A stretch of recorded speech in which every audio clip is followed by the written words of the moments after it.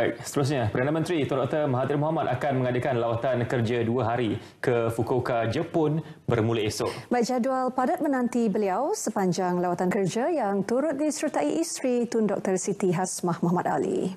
Laporannya bersama Wan Rosma Ramli. Sejurus selepas ketibaan beliau di Fukuoka, Perdana Menteri dijangka dianugerahkan ijazah kehormat oleh Universiti Antarabangsa Jepun. Ia sebagai menghargai jasa Tun Dr. Mahathir terutama sekali dalam mewujudkan dasar pandang ke timur yang memberi impak yang sangat besar terutama sekali dalam perkembangan pendidikan di rantau ASEAN. Di hadapan hampir 3,000 pelajar sekolah menengah terpilih, anjuran Japan Future Leaders School, Perdana Menteri akan memberikan syarahan dengan tajuk How Progress of Science and Technology Will Contribute to World Peace and Harmony. Beliau dipilih berdasarkan kepada kredibiliti seorang pemimpin hebat dalam pelbagai bidang. Uh, penglibatan YB Tun uh, di program ini sejak 2004 adalah satu uh, program yang telah memberi sumbangan yang besar dalam uh, mengukuhkan hubungan kedua hala antara uh, Malaysia dan Jepun khususnya di peringkat people to people relations antara lainnya.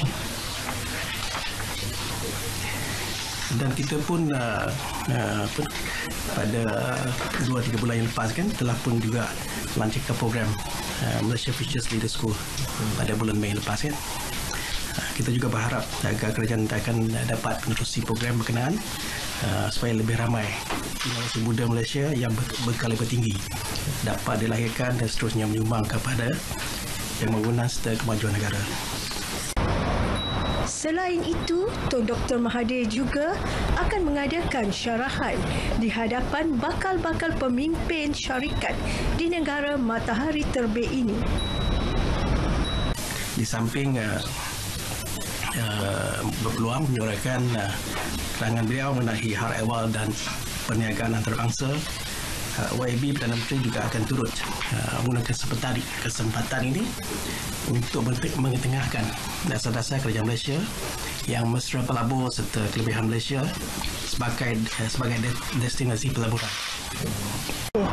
Meskipun lawatan kerja ini agak singkat, namun ia diibaratkan sebagai serampang dua mata yang mana Perdana Menteri secara tidak langsung turut berhasrat untuk menarik lebih ramai pelabur dari negara ini untuk datang ke Malaysia. Warusma Ramli, Fukuoka, RTM.